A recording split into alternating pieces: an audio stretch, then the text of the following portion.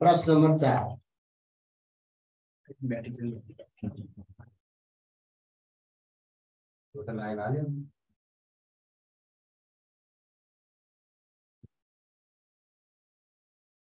ल अब बौद्ध धर्मका विहारहरूको अवस्थितिको आधारमा जोडाउने धर्म जोड्नुको प्रश्न ल त एकचोटि।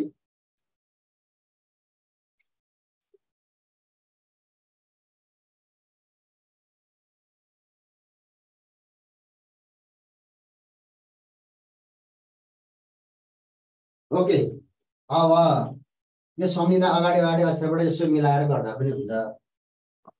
यो विवाह भनेर सम्झिनु भने हुन्छ। विक्रमशिला भारत। अब बीको एक भएको अप्सन हेर्नुहोस् त। बीको एक भएको यसमा छ एउटा डीमा। अर्को यहाँ ए अप्सनमा छ भने सी र डी कटायो हो। इक्जाममा हामी त्यसरी जान्छौँ अलिक फास्ट हुन्छ। कहिलेकाहीँ एक दुईवटा मिल्दा पनि सबै आन्सर आउने हुनसक्छ। त्यसकारण अब तक्षशिला पाकिस्तान तपा स्वर्णशिला थाइल्यान्ड सोथा मैले सम्झेको छु है। आश्री भनेको ताम्राशिला श्रीलङ्का अब कुन अप्सनमा मिल्यो त भन्दा दुईवटा अप्सनमा थिए हो। अब ए को तिन भएको अप्सन। अनि त्यसपछि बीको एक यसमा छ। अनि सीको दुई भनेको अप्सन डीमा रहेछ है। ल सजिलो प्रश्न पर्यो। यसमा त डाउट छैन है। जस्तो स्वयम्भू नेपाल पढ्नुहुन्छ त्यसरी पढेको है यो। ल प्रश्न नम्बर पाँच। यो शिक्षक सेवा आयोगलाई सोधेको प्रश्न हो। यो ग्रहहरूको सूर्यबाट चाहिँ दूरीका आधारमा नजिकदेखि टाढासम्म मिलाउँदाखेरि कुन क्रम तलकामा चाहिँ सही हुन्छ सही क्रम पत्ता लगाउनु पर्यो पहिला सूर्यदेखि नजिकदेखि टाढाको क्रम मिलाउनु। अब यो सूर्य भयो। यो सूर्यदेखि नजिकदेखि टाढा गर्दा के भयो भन्दा? बुध शुक्र पृथ्वी मङ्गल बृहस्पति शनि अरुण वरुण यही क्रम हो। नजिकदेखि टाढाको गरौँ। त्यसो भए सबभन्दा नजिक बुध यहाँ बुधको सम्भावना देखिएन। त्यसपछि शुक्र यहाँ पनि अगाडि शुक्र भयो त्यसपछि फेरि बुध आयो। भने बुधको अगाडि हुनु पर्थ्यो यो पनि भएन। पृथ्वी आयो। पृथ्वी आयो भने अगाडि पृथ्वी आएको अरू अप्सनमा छैन भने सिधै यिनीहरू हिँड्दा अब होइन? पृथ्वी त्यसपछि मङ्गल अनि बृहस्पति शनि भनेको अप्सन यही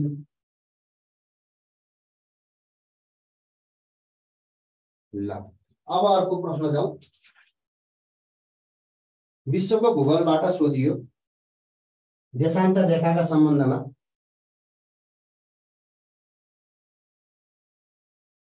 विचार गर्नुहोस्। कुन भनाइ गलत छैनन् भनेको छ? यो कुरा ख्याल गर्नु पर्यो। गलत नभएको गलत छैनन् भन्नुको मतलब चाहिँ सही कुन हो भनेको है मिलाउनु त। अब यस्तो अवस्थामा पहिला जानेको अप्सन हेर्दै यसलाई चाहिँ काट्दै गए पनि हुन्छ। होइन भने अगाडिबाट लेख्दा पनि भयो। जस्तो देशान्त रेखाहरू पूर्ण वृत्ताकार हुन्छन् तर लम्बाइ बराबर हुन्छन् भने। यो देशान्त रेखाहरू पूर्ण वृत्ताकार होइन अर्धवृत्ताकार हुन्छन् अक्षांश रेखाहरू वृत्ताकार हुने हुन् भनेर हामीले पढिसक्यौँ होइन? अर्धवृत्ताकार यो गलत। अब सही पत्ता लगाउने छ नि त्यहाँ। गलत छैनन् भनेको मतलब सही हुन् भनेको। त्यसो भए अप्सनमा हेर्दा अब त्यो हेर्दा पनि भयो जस्तो एक सय असी डिग्री देशान्त रेखालाई भूमध्य रेखा भनिन्छ भने जिरो डिग्री अक्षांश रेखालाई भूमध्य रेखा भनिन्छ भने अब एक सय असी डिग्री देशान्त रेखा भनेको के हो? त अन्तर्राष्ट्रिय तिथि रेखा हो। जिरो डिग्री भूमध्य रेखालाई चाहिँ हामी के अरे? जिरो डिग्री अक्षांश रेखालाई भूमध्य रेखा भन्छौँ। जिरो डिग्री देशान्त रेखालाई प्रधान मध्यान्ह रेखा भन्छौँ। भने एक सय असी डिग्री देशान्त रेखालाई के भन्छौँ? भन्दा अन्तर्राष्ट्रिय तिथि रेखा भन्छौँ। अतिरे भनेको अन्तर्राष्ट्रिय तिथि रेखा हो। त्यसकारण यो पनि गलत। भूमध्य रेखा भने त्यहाँ अन्तर्राष्ट्रिय तिथि रेखा हुन पर्थ्यो। सही हुनलाई अब जिरो डिग्री देशान्त रेखालाई प्रधान मध्यान्ह रेखा भनिन्छ भने।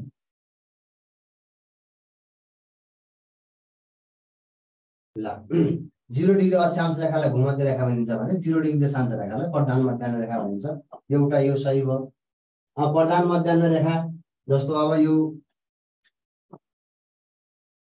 मानव पृथ्वी हो भने यो जिरो डिग्री यो ठाडामा काट्नु भयो भने यसलाई के भन्छ भन्दा देशान्त रेखा भन्छ। यो प्रधान मध्याह्न रेखा हो। होइन? जिरो डिग्री देशान्त रेखा भनेको प्रधान मध्याह्न रेखा हो। पूर्व पश्चिम दिशातर्फ खिचेका हुन्छन् भन्दा यता खिचेका हुन्छन् यता खिचेका हुन्छन्। ठाडा काल्पनिक रेखा हो। त्यस कारण सही भागा भनेको एक र दुई रहेछन् भने अप्सन ए गरे। यही प्रश्न मात्रै सीमित नभएर तपाईँले अरू कुरा पनि जान्नुभयो नि होइन? ल। अब अगाडि बढौँ प्रश्न नम्बर सातमा। केही छ नबुझेको यहाँ प्रश्न भन्दा पनि अरू बाँकी भनेका कुराहरू अलिकति क्याच गर्नु होला। है त? ल ओके प्रश्न नम्बर सात। ल यो प्रजातिहरूको बारेमा जस्तो जीव जन्तुहरूको संरक्षण गर्नलाई एउटा संस्था छ। त्यो संस्थाले चाहिँ एउटा रेड डाटा लिस्ट निकाल्छ क्या जस्तो सङ्कटमा परेका प्रजातिहरूको सूची निकाल्छ। त्यसलाई रेड डाटा बुक पनि भन्छ रेड डाटा लिस्ट पनि भन्ने चलन छ। त्यो कुन संस्था होला भन्ने सोध्यो। डब्लुडब्लुएफ दोस्रो साइटिज तेस्रो आइयुसिएन र चौथो भनेको युनेस्को। ल अप्सन ए पनि हाल्नुभयो अरू केही छ?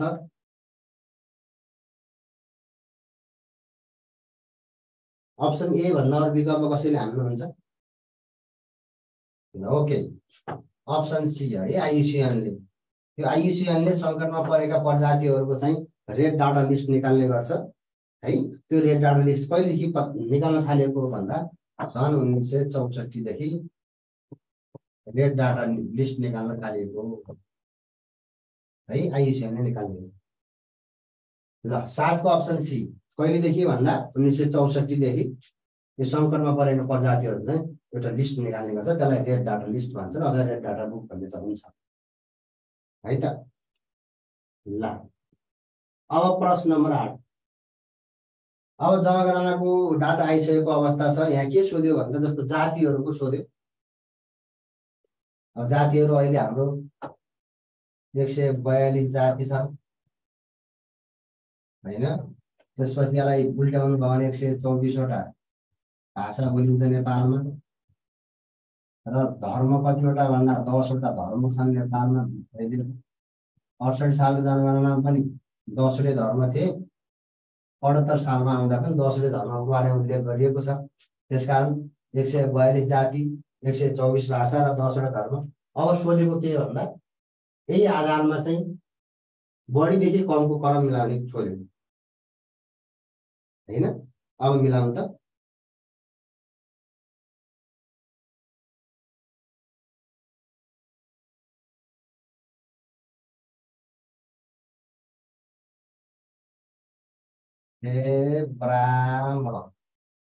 यो पहिल्यैको आधारमा छ जस्तो अडसठीमा पनि त्यही भन्नुहुन्थ्यो होइन त्यो थार र तामाङसम्म त्यहाँसम्म एउटै छ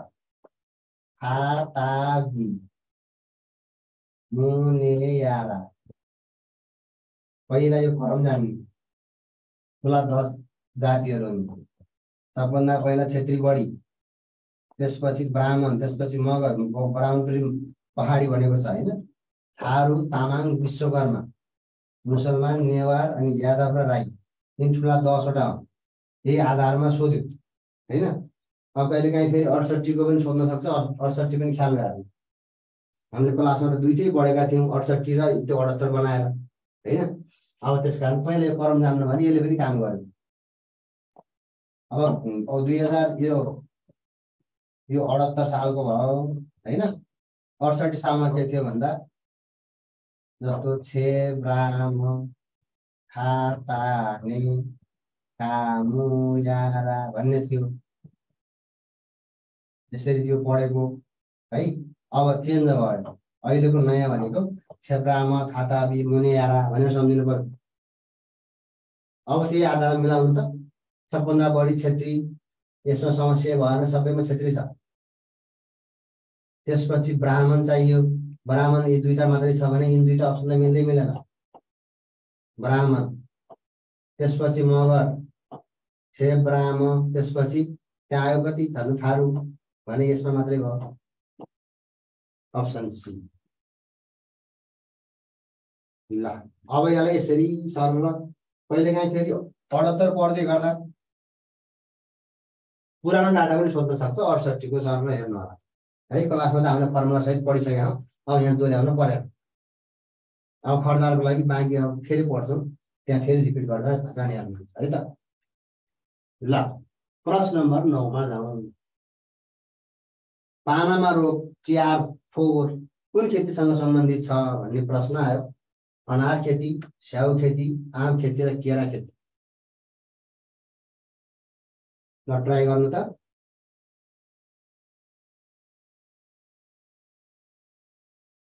यो पानामा रोग भनेको केरा खेतीसँग है? एउटा रोग हो। Option D. गोर्खापत्र त हेर्नुहुन्छ अपडेट हुनलाई अलिअलि यसो पत्रिका चाहिँ गोर्खापत्र हेर्नुपर्छ त्यहाँ भएका कुरा नोटिस गरेर राख्नुहोस्। ल अब प्रश्न नम्बर दस। सार्कको इतिहासमा अवधि नपुग्दै राजीनामा दिने एकमात्र महासचिव को हुन् भन्ने प्रश्न आयो। Option A Fatima Dhiyana Syed option B Yadavkant Silwal option C Golam Sarwar र अप्सन डी अर्जुन बहादुर थापा अब नेपाली नाम दुईटा हेर्नुभयो यिनी दुईटा भनेका चाहिँ नेपालबाट महासचिव हुने सार्कका होइन? नेपालबाट सार्कको महासचिव हुने मान्छे दुईटा हुन्। अहिलेसम्म नेपालबाट सार्कको महासचिवमा दुईजना मान्छे भए। अर्जुन बहादुर थापा भनेको सार्कको बाह्र महासचिव हुन्। अहिलेसम्म पन्ध्रवटा महासचिव भए होइन? महासचिव कार्यकाल भनेको तिन वर्ष व्यवस्था छ। यादवकान्त सिलाल भनेको सार्कको चौथो महासचिव हुन्। त्यसमा अब एन्सर भन्ने कुरै भएन होइन? अब गोलाम गोलाम सरवार भनेको यो बङ्गलादेशको मान्छे। अहिले नयाँ पन्ध्रौँ महासचिव। दुई हजार तेइसको मार्च तिनमा तिनदेखि भनौँ न तिनदेखि त्यसको कार्यकाल सुरु भएको। यो सार्क महासचिव कार्यकाल तिन वर्ष हुने व्यवस्था रहेको छ। यो पन्ध्रौँ महासचिव हुन्। कहाँको मान्छे हो भन्दा गोलाम सरवार भनेको बङ्गलादेश। यो पनि जानिहालौँ। अब त्यसपछि अब यो अहिलेको पन्ध्रौँ रहेछ भने पहिलो महासचिव भनेको अब्दुल हसन हो। यो पनि बङ्गलादेशको हो यो अब्दुल हसन भनेको फर्स्ट महासचिव सार्को पहिलो महासचिव भनेको अब्दुल हसन हो। अहिलेसम्म पन्ध्रवटा महासचिव भएको छ पन्ध्र महासचिव भनेको गोलाम सरवार हो बङ्गलादेशको होइन? दुई हजार तेइस मार्च तिन होइन है पाँच। मार्च पाँचदेखि चाहिँ यसो कार्यकाल सुरु भएको छ। तिन वर्षको कार्यकाल हुने व्यवस्था रहेको छ। अब एन्सर त भइहाल्यो होइन? यो फातिमा फतिमा धियाना सहित भनेको मालदिप सकिनु एउटा जान्नुहोस्। अर्को भनेको सार्कको दसौँ महासचिव हुन्। दसौँ महासचिव सार्कको इतिहासमा अवधि नपुग्दै राजीनामा दिने एउटा महासचिव भनेको यिनीमा तर अर्को के छ भने सार्कको इतिहासमा एक मात्र महिला महासचिव पनि अहिलेसम्म हेर्दा महिला महासचिव भएको इतिहास छैन।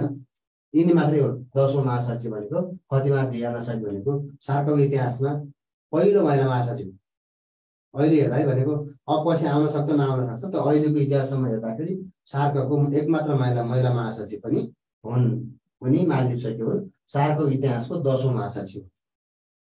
एउटा जान्न भनेको अवधि नपुग्दै राजीनामा दिने। अर्को भनेको सार्कको इतिहासमा जस्तो एक मात्र महिला महासचिव भनेर पनि बुझ्नु ल यहाँ लगभग पाँच छवटा क्वेसनको एन्सर आयो नि यसरी पढ्नु होला पढ्दा। है त। ओके। अगाडि बढौँ। पहिलो पनि आयो अन्तिम अहिलेको पनि आयो यो तेइस मार्च पाँच है। अहिलेको पनि आयो पन्ध्र। यिनी कुराहरू यसरी विशेषतासँग ट्याली गरेर पढ्दा राम्रो हुन्छ। ल एघार नम्बरमा जाउँ। यो पनि कतै सोधिएको प्रश्न जस्तो लाग्छ। बाह्रौँ शिक्षक सेवामा के अरे बाह्रौँ राष्ट्रिय जनगणना दुई हजार अठहत्तर अनुसार नेपालको महिला साक्षरता दर कति पर्सेन्ट रहेको छ? अब यो पैँसठी पोइन्ट नौ त भन्नै परेन हाम्रो अघिल्लो जनगणना अनुसारको डाटा हो होइन? अब यिनी तिनवटा कुरामा चाहिँ नेपालको जम्मा साक्षरता कति भनेमा छत्तर पोइन्ट दुई पर्सेन्ट जम्मा अहिले हाम्रो साक्षरता दर कति छ भन्दा छत्तर पोइन्ट दुई पर्सेन्ट छ। तर हामीलाई माया के भन्दा महिला साक्षरतामा आएको छ। यसैमा चाहिँ प्लस सात गर्नुभयो भने पुरुषको आउँछ। त्यसमा माइनस सात गर्नुभयो भने महिलाको आउँछ।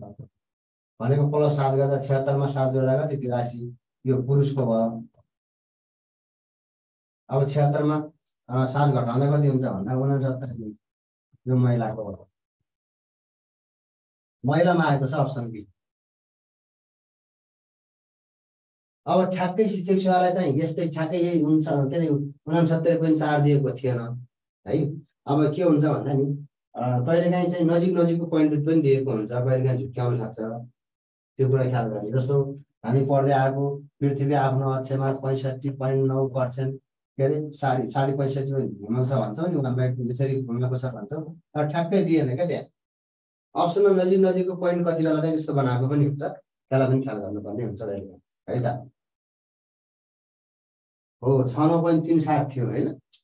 शिक्षकलाई सोद्धाखेरि छ नौ पोइन्ट तिन सात थियो। यो भन्नुखेरि छ नौ पोइन्ट शून्यान्त गर्दा चाँडै हो भने चाहिँ यो हो नि हुन चाहिँ अब यो पाँचभन्दा बढी हो भने शून्यान्त पनि त पहिला पढेको हो त्यसरी पनि हुन्छ कहिलेकाहीँ चाहिँ झुक्क्याएर सोध्न सक्छ। यसलाई पनि अलिकति ख्याल गर्नुपर्ने हुन्छ। ल अगाडि बढौँ ल बाह्रौँ प्रश्न। अस्ति भर्खर आएको। भारतले पहिलोपल्ट चन्द्रयान तिन चन्द्रमा कहिले अवतरण गराएको थियो? भन्नै परेन। है समसामिकता टुङ आउँछ। ल अप्सन ए तेइस अगस्त तेइसमा अब यो समसामयिक ट्रिक भन्ने हुँदैन। ल तेह्रौँ प्रश्न। नेपालको भूगोलको वन जङ्गलबाट सोध्यो। ल मिलाउनुहोस् त। नेपालको बाह्र सय एक मिटरदेखि एक्काइस सय मिटरसम्मको उचाइमा पाइने जङ्गललाई के भनिन्छ? यो खर्जाले नै सोधेको प्रश्न पुरानो। अब हामीले पढ्दा के गर्यौँ भन्दा हावापानी र वनस्पतिलाई सँगै ट्याली गर्ने भन्यौँ। होइन? अब पढ्दै गर्दा जस्तो पोलेटु वनको भयो। नेपालमा पाइने वन पाँच हावापानी पनि पाँच माटो पनि पाँच होइन? कति सजिलो बनाइदिएको पढ्न। अब यो उष्ण मनसुन सुरु पढ्दा जस्तो बाह्र सय मिटरसम्म बाह्र सयदेखि बाह्र सय एकदेखि एक्काइस सय। अब यो भनेको कोन्दारी बाह्र सय के अरे एक्काइस सय। एकदेखि तेत्तिस सय पचास। फेरि तेत्तिस सय एकाउन्नदेखि पाँच हजार पाँच हजार मिटर माथि। अब त फेरि पाँच हजार एक मिटर भनौँ न। आठ हजार आठ सय अडचालिस पोइन्ट छ्यासी होइन मिटर माथि। यसरी पढ्ने हो। यसको ठ्याक्कै उचाइ र वन वनस्पतिको उचाइ र हावापानीको उचाइ एउटै हो। पढ्न सजिलो त्यसरी हुन्छ। अब यहाँ यो उष्ण परदेशीय सदाबहार वन भनेको यहाँ आइसक्यो। यो मौसमी मौसमीलाई चाहिँ समशीतोष्ण पनि भन्छ। यो समशीतोष्ण पतझर भनेको अप्सन बी। अहिले त्यहीमा आयो। कतिको आयो भन्दा एक्काइस सयदेखि बाह्र सयदेखि एक्काइस सयसम्मको मिटरको बिचमा।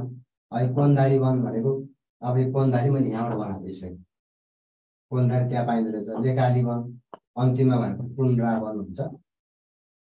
वनस्पतिको प्रकार पाँच है। जस्तो हावापानी पढ्दा पनि त्यसरी पढ्नु होला। उष्ण न्यानो समशीतोष्ण ठन्डा लेकाली टुन्ड्रा एउटै है यसको र यसको उचाइ चाहिँ एउटै बुझिहाल्नुहुन्छ है। उचाइ सेम। यो बाह्र सय एक्काइस सयसम्म पैँतिस सय पचाससम्म पाँच हजारसम्म अनि यो पाँच हजार मिटर माथि। ठ्याक्कै त्यही हो। हाम्रो फेरि माटो पनि पाँच पाँगो माटो बलौटे पत्थरिलो माटो रातो खुस्रो माटो कलैया माटो हिमाली माटो माटो पनि पाँच हावापानी पनि पाँच वनस्पति पनि पाँच होइन? ल। अब अगाडि बढौँ चौध नम्बरमा जाउँ त। कुन भनाइ गलत छ विचार गर्नुहोस्। अब गलत पत्ता लगाउनु पर्नेछ एउटा गलत छ भने अब त मिलिहाल्यो पत्ता लगाइयो सुरुमै भने भइहाल्यो नेपालमा प्रथम स्तरका नदीहरूको सङ्ख्या एक्काइसवटा रहेको छ। दोस्रो महाकाली नदीको उद्गम स्थल अप हिमाल हो। तेस्रो अरू नदीलाई तिब्बतमा फु फुङ्चु भनिन्छ। चौधो भारतमा प्रवेश गरेपछि बबे नदीलाई सरोई नामले चिन्ने गरिन्छ।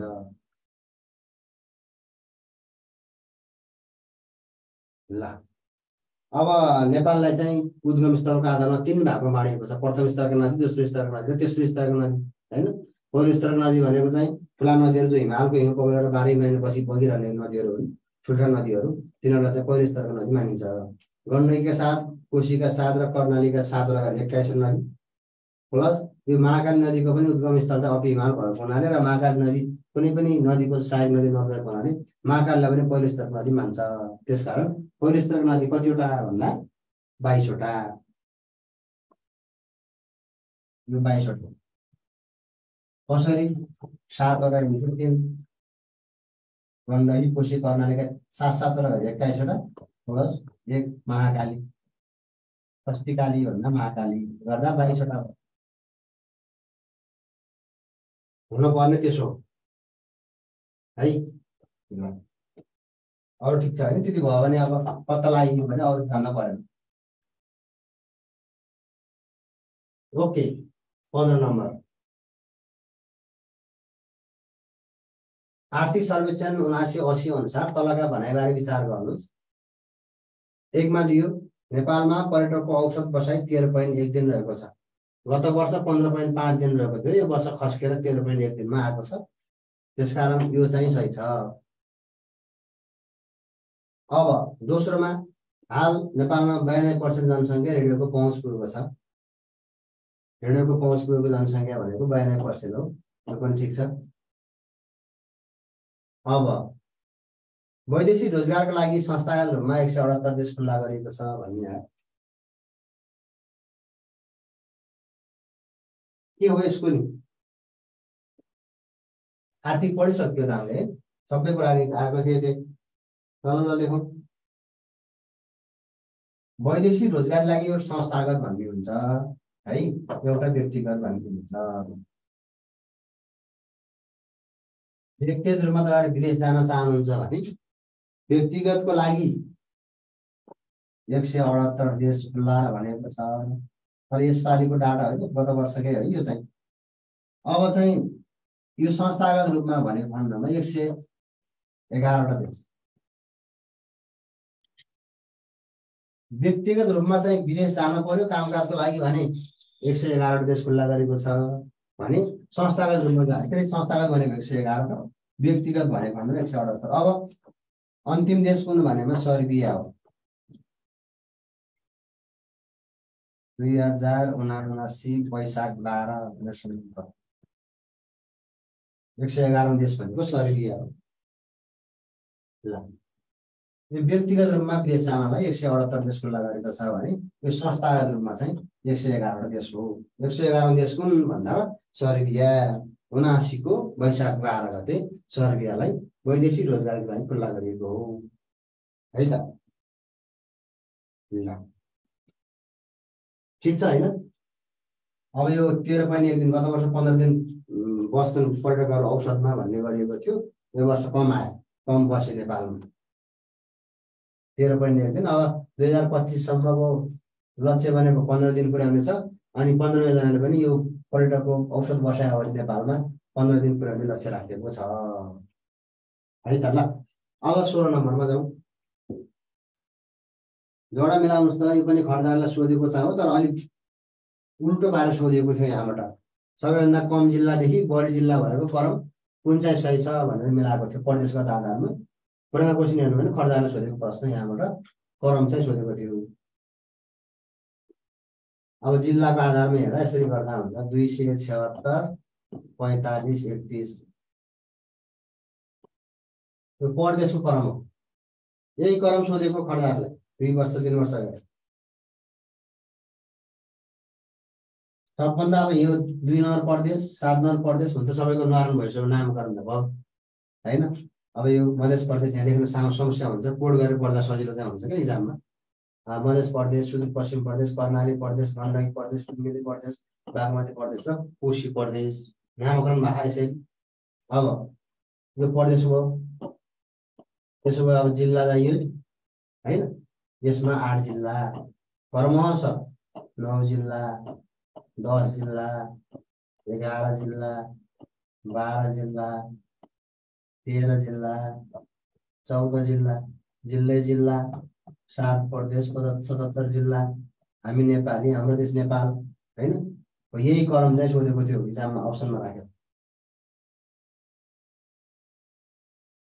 ल। अब स्वरको अब मिलाउनु त कोशी प्रदेशमा सबभन्दा। कोशी प्रदेश भनेको त कति हो भन्दा एक नम्बर प्रदेश हो। सबभन्दा बढी यहाँ भएकोमा त सबभन्दा बढी हेर्दा नि हुन्छ। चौध जिल्ला अब एकको तिन भएको अप्सन भनेको यसमा मात्रै छ भने हामी आँखा चिम्लेर त्यहाँ कुरो लगाएर आउँछौँ। फेरि आँखा चिम्लिँदा उल्टो जान्छ होइन ओके सत्र नम्बर। यो भन्नै परेन। मल्लकालीन मुद्राका सम्बन्धमा सही जोडा पत्ता लगाउनुहोस्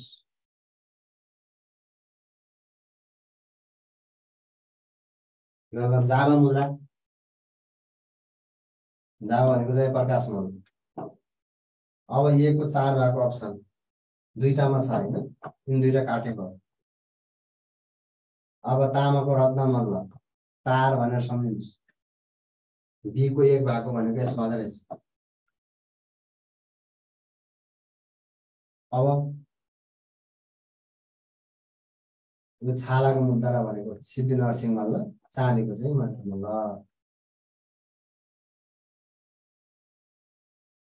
ओके अठार नम्बर। माथिल्लो सगरमाथा अन्तर्गत देखाएका कुन जिल्ला पर्दैन? ओखलडुङ्गा खोटाङ सोलुखुम्बु शङ्खसभा माथिल्लो सगरमाथा भनेर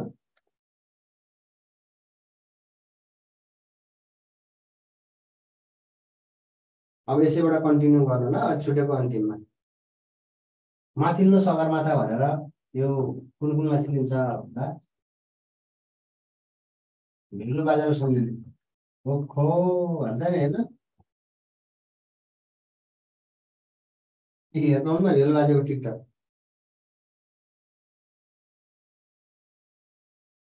हेर्नुहुन्छ होला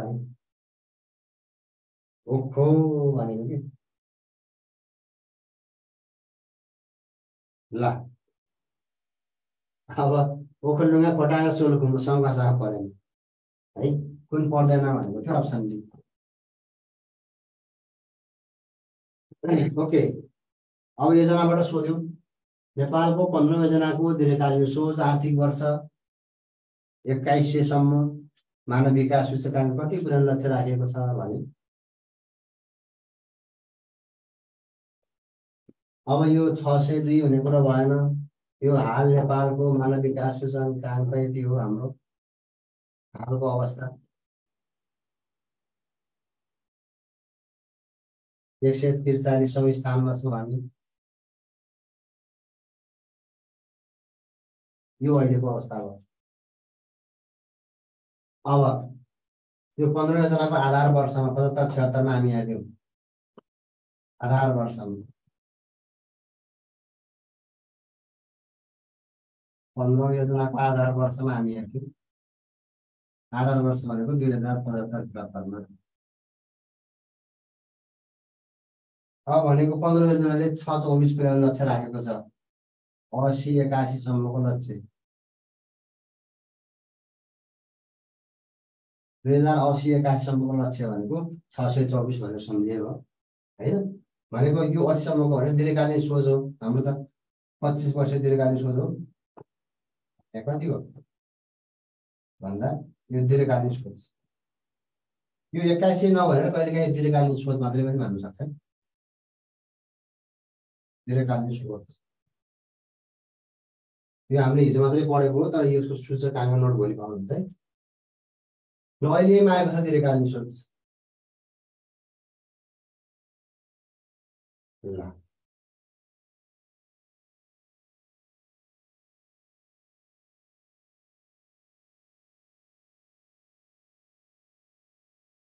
अर्को जाउँ बिस नम्बरमा। अब यो संयुक्त राष्ट्रसङ्घका छवटा अङ्गमध्ये एउटा हो महत्त्वपूर्ण अङ्ग पहिलो अङ्ग भनेको महासभा। संयुक्त राष्ट्रसङ्घको महासभाका अहिलेसम्म सत्तरवटा बैठकहरू सम्पन्न भइसक्यो है?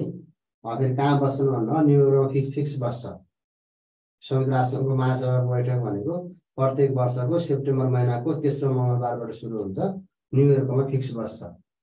अहिलेसम्म सतहत्तरवटा महासभा सम्पन्न भए यो अठहत्तरौँ महासभाको अध्यक्ष गर्ने व्यक्ति पनि तोकिसक्यो। अब लेख्नुहोस् त न पढ्नु भएको थियो?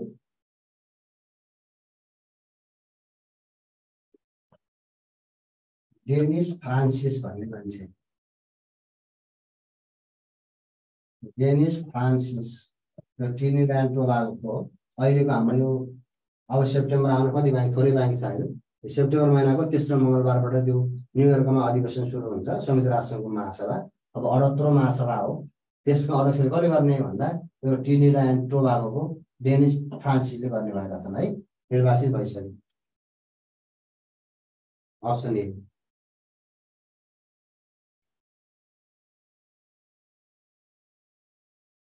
ल प्रश्न नम्बर एक्काइस।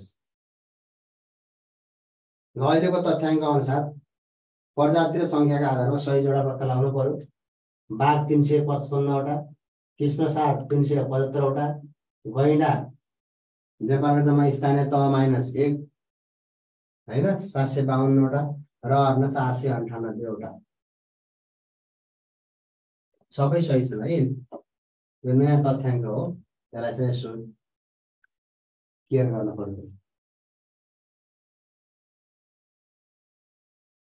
नेपालमा अहिले बाघको सङ्ख्या तिन सय पचपन्नवटा कृष्ण सार तिन सय पचहत्तरवटा गैँडा सात सय बाहन्न नेपालको स्थानीय दर सात सय त्रिपन्न पनि एक घटाउँदा अब अर्ना भनेको चार सय अन्ठानब्बे। ल बाइसौँ प्रश्न जाउँ। उन्नाइस सय पैँतालिसमा जापानको हिरोसीमामा र नागासाकीमा क्रमशः कहिले र कुन कुन बम खसालिएको थियो?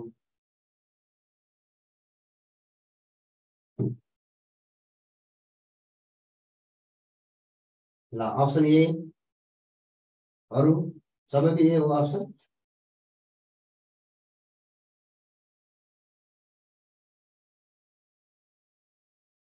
ल अब डी पनि आयो बी पनि आयो ल कसलाई मानौँ? अब सजिलो छ त। एउटा जान्ने के भन्दा बम सम्बन्धमा एउटा अर्को मिति सम्बन्धमा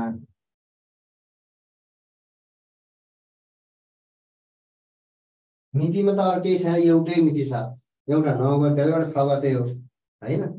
अब यहाँ सीमामा नागासाकीमा छ हिरो पहिला छ। हो?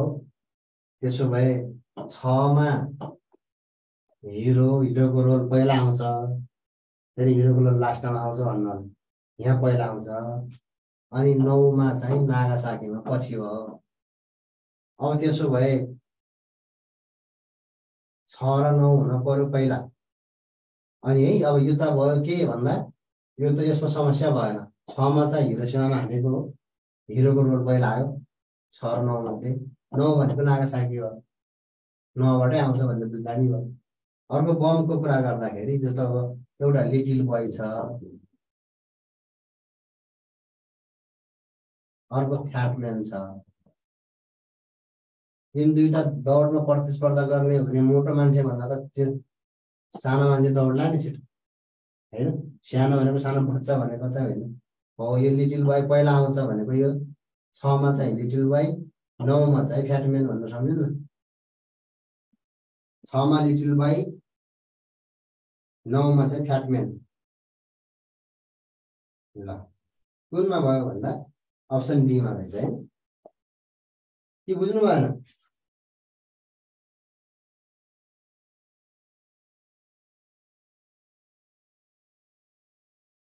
हजुर अनि एमा छ र छैन होला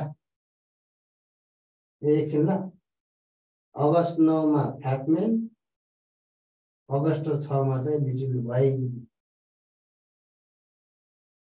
ए होइन नि तपाईँ झुक्किनु भयो जस्तो एमा मिल्दैन नि किन भन्दा कहाँ हाने भन्ने जान्नु पऱ्यो नि त जस्तो यो अगस्त छमा त कहाँ यहाँ त हिरो सेमामा भनेपछि। हिरो त पहिला आयो नि त छमा भनेको त्यो हिरो पहिला छ आउनु पऱ्यो नआएर भएन। हो कर्मश भनेकोले तपाईँले भनेको प्रश्नमा यो नागासाकी अगाडि हिरोसीमा पछाडि भइदिएको फेरि आन्सर यही हुन्थ्यो। होइन? हो इक्जाममा झुक्किने यही हो क्या। मिलाएर अस्ति कतिचोटि हानेर आइन्छ यति मिल्यो भन्ने बाहिर आइन्छ नि। समस्या हुन्छ कहिले काहीँ? अब जस्तो हिरोसीमाको ठाउँमा यो नागासाकी अगाडि भइदियो भए तपाईँले भने जस्तै आन्सर यही हुन्थ्यो फेरि। हो गल्ती र यस्तो मिस्टेक भयो। कहिले काहीँ हुन्छ होइन? झुक्क्याउँछ हो यहीमा झुक्किनु भयो ठिक छ। नत्र फेरि यो पनि आन्सर हुन्थ्यो नि यही पनि। माथि कर्म चाहिँ नभनिदिएको भयो है त ल प्रश्न नम्बर तेइसमा जाउँ अहिले भयो है एन्सर ल यता मिलाइहाल्नुहुन्छ नेपालमा महानगरपालिका नभएका प्रदेश चारवटा छन्। सही पत्ता लगाउनु पर्ने छ है। धेरै उपमहानगरपालिका भएको प्रदेश मधेस प्रदेश हो जहाँ तिनवटा रहेका छन्। तेस्रो नेपालमा धेरै स्थानीय तह भएको प्रदेश कोशी प्रदेश हो जहाँ एक सय छत्तिसवटा रहेका छन्। उपमहानगरपालिका भएका प्रदेश कर्णाली र गण्डकी गरी दुईवटा छन् उपमहानगरपालिका भएका। सही पत्ता लगाउनु त। हन्ड्रेड पर्सेन्ट हो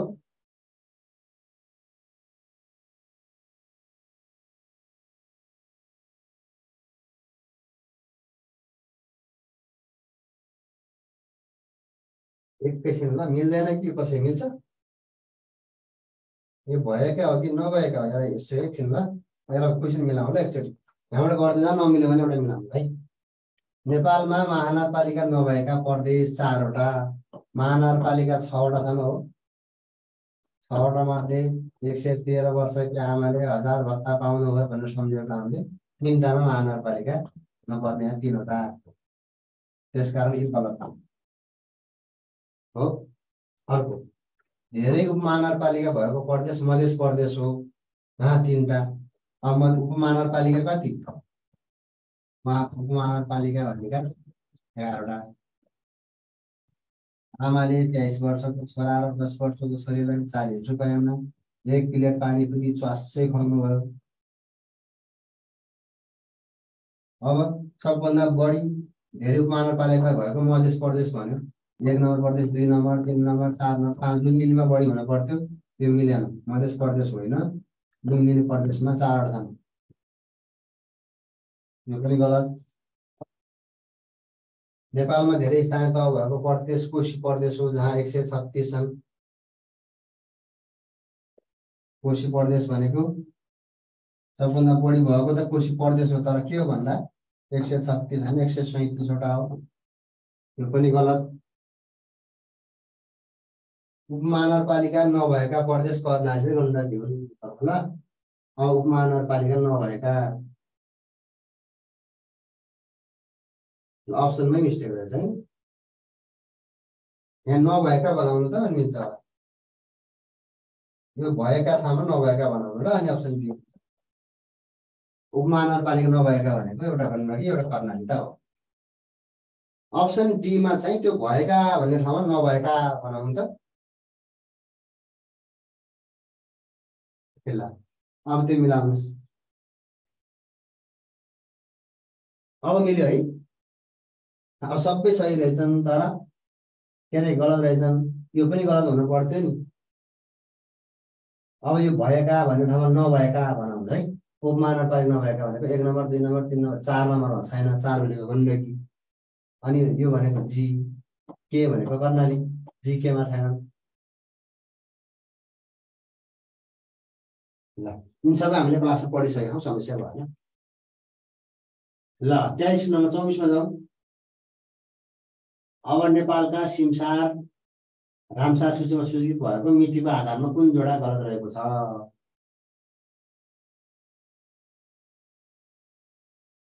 अहिलेसम्म नेपालका दसवटा सिमसारहरू चाहिँ रामसार सूचीमा सूचित भएका छन्। ती दसवटाको बारेमा अब कुन कुन दियो जोडा मिलाउन दियो। मिलाउनु त। को कोसी टप्पु सबभन्दा सुरु बिस हजारी ताल घोडाघोडी ताल जगदीशपुर ताल। सगरमाथा राष्ट्रिय निकुञ्ज सेफोक्सुङ्गो ताल तारा ताल गोसानी कुण्ड ससेराङ्गो माई पोखरी फेवासहितका नौवटा तालहरू सबभन्दा उन्नाइस सय सतासीमा कुर्सी टप्पु भन्ने जनता बी गोजा तिनवटा छन् त्यो भएन दुई तिनटै दुई हजार तिनमा भयो ससे राङ्गो भनेको दुई हजार सातमा त्यो चारवटै दुई हजार सातमा सँगै भयो। त्यो माई पोखरी भनेको दुई हजार आठमा भयो। आठ सोह्र दुई हजार सोह्र फेब्रुअरी संसार दिवस फेब्रुअरी दुईमा मनाइन्छ त्यस कारण दुई हजार सोह्र फेब्रुअरी दुईमा फेवासहितका नौवटा तालहरू होइन? ल ठिक छ। यो माई पोखरी भनेको मेरो पोखरी दुई हजार आठ। किताबमा भेटिहाल्नुहुन्छ अब अघि पढिसकेको कुरा पनि छ पहिला होइन अप्सन सी दुई हजार आठ हुन पर्थ्यो ओके पच्चिस नम्बर। नेपालको इतिहासबाट आयो। पर अनुचितता सम्बन्ध रहेको आरोपमा तलेजु मन्दिरमा काटेर मर्ने राजा को हुन् प्रताप मल्ल विश्वजित मल्ल अभय मल्ल र योग नरेन्द्र मल्ल। पर स्त्रीसँग अनुचित सम्बन्ध राखेको आरोपमा चाहिँ तलेजु भवानी मन्दिरमा काटिएर मारिने राजा भनेका हामी विश्वजित मल्ललाई चिन्छौँ। अप्सन ए यो प्रताप मल्ल भनेको कसरी मर्यो त भन्दा हरिसिद्धको नाच हेर्दा मल्ल वंश शक्तिशाली राजा पनि हुने यिनी पन्ध्र भाषा पन्ध्र भाषा ज्ञाता पनि मानिन्छन् होइन? कुचबिहारबाट डोला झिकाएर डोला पट्टाको सुरुवात गरेको पनि पाइन्छ। हरिसिद्धको नाच हेर्दा हेर्दै मर्ने। हेर्दै मर्ने। अभय मल्ल भनेको भूकम्पमा परि मर्ने। भूकम्पमा परेर मर्ने राजै नै यो योग नरेन्द्र मल्ल तमाखुमा बिस हालेर मारिदिएको थियो भन्छ तमाखुमा बिस हालेर।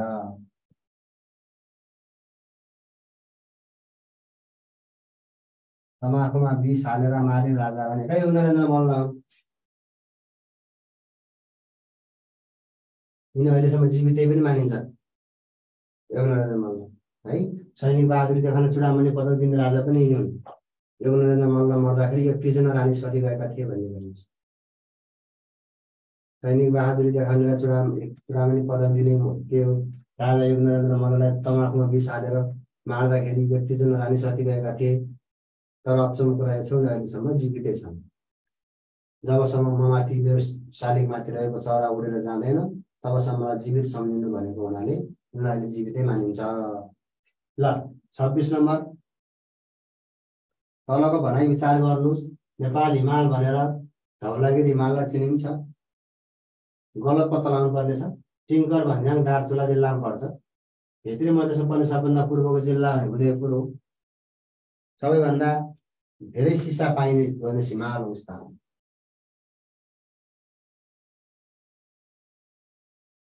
ल अब लेख्नुहोस् त सजिलै छ होइन टिङ्कर भन्दा दार्चुला जिल्लामा पर्छ भन्नै परेन अब नेपाल हिमाल भनेर धौलागिरी हिमाललाई होइन कञ्चनजङ्घा हिमाललाई हो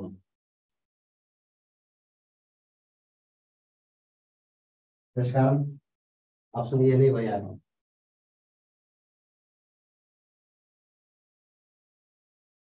ल सत्ताइस नम्बर टेलिभिजन त हेर्नुहुन्छ होला कसले आविष्कार गरेको हो नि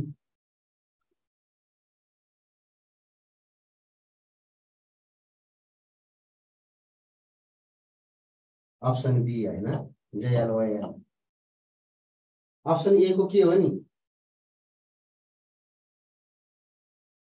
एक्सरे गर्नु जानु भएको छ होला होइन? एक्सरेको आविष्कार भने नि। एक्सरेको आविष्कार हो रेन्ट जोन अब यो बेल भन्ने बित्तिकै बुझिहाल्नु भयो। टेलिफोन आउँदाखेरि के बच्छ भन्दा घन्टी बच्छ फेरि मोबाइलमा पनि बच्छ भन्नु मोबाइलमा घन्टी बज्दाखेरि भाइरस पनि लान्छ नि त। भाइरस यसो त हुँदैन। त्यो बन्जामिन फ्राङ्कलिन भनेको सट्याङ पर्छ नि सट्याङमा पनि विद्युत सार्ज हुन्छ भनेर पत्ता लगाउनु चट्याङ पर्दा पनि विद्युत चार्ज चट्याङमा पनि विद्युत चार्ज उत्पन्न हुन्छ भन्ने पत्ता लगाउनु पुग्यो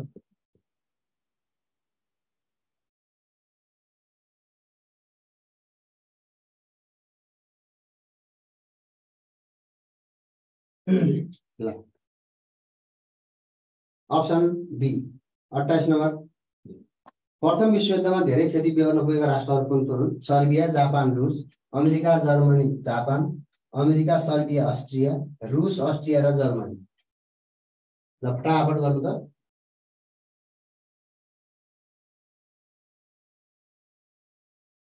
हामीले क्लासमा जार भनेर सम्झेको होइन। पानी खाने जार होइन। जे भनेको जर्मनी ए भनेको अस्ट्रिया र आर भनेको रुस। Option D.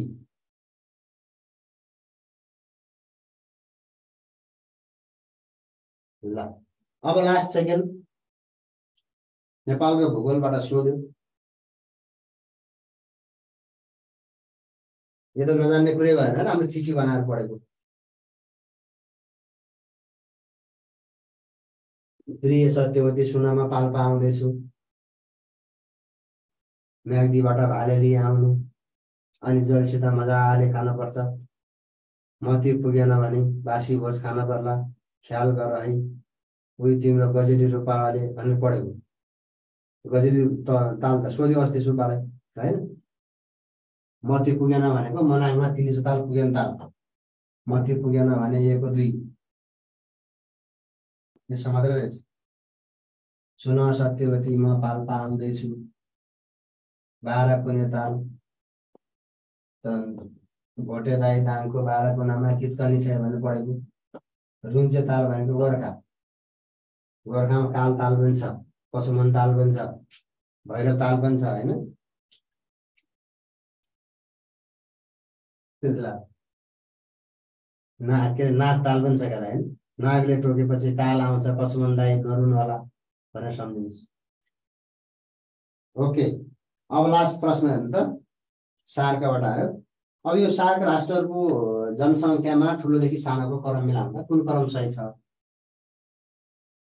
एउटा जनसङ्ख्या पढ्न पऱ्यो क्षेत्रफलमा पढ्न पऱ्यो होइन दौत्य सम्बन्ध पनि पढ्न पऱ्यो होइन त्यसपछि अर्को परेपछि पनि पढ्न पऱ्यो। जनसङ्ख्यामा चाहिँ इन्द्र प्रसाद बोगटीले ए यान यस एन्सर बनाउन मिस्टेक गर्यो।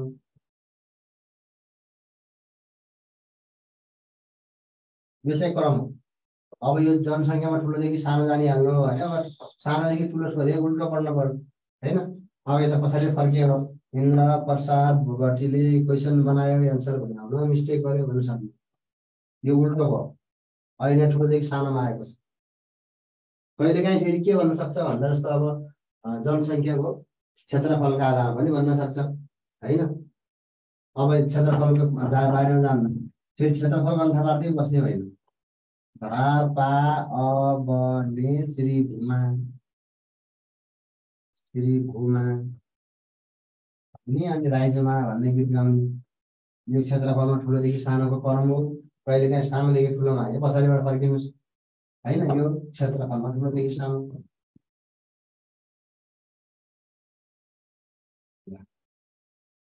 चाहिँ जान्न पर्यो ल अब जिकेको सकियो। अब यसपछि तपाईँको हेन्सम सर आउँदै हुनुहुन्छ आइक्यूमा। अनि कति मिल्यो नि आज? जिकेको पार्ट हेर्नु त।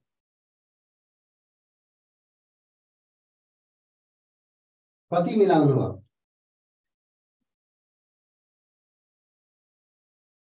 अब पछि जोडिनु भएको साथीहरू हुनुहुन्छ होला लाइभ अलि बिचबाट गयो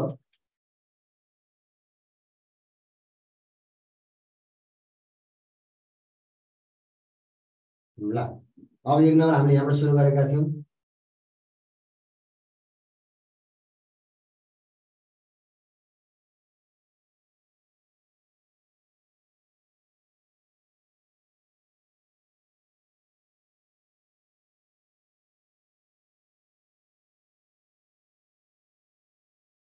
अब यो त आइहाल्छ होला है।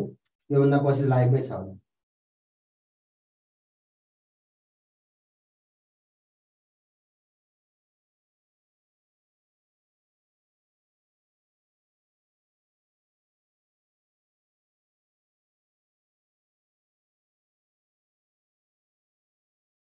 ल कति मिलाउनु भयो?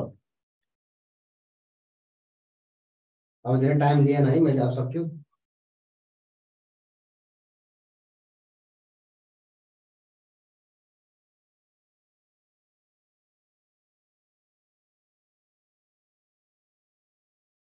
ल। आज यति गरौँ। अब बाँकी हाम्रो भेट भोलि हुन्छ है। सम्भवतः भोलि संविधान पढिन्छ होला। अब विकास राईसँग लाग्छ मलाई स्वागत गरौँ। म छुट्टिएँ ल नमस्कार।